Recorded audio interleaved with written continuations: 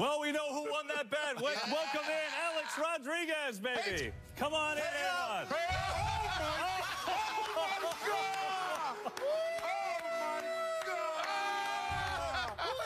Oh, Obviously, I got Big Papi's pants. Oh, baby. Pretty good in that. You know, 80% now. Oh. Papi.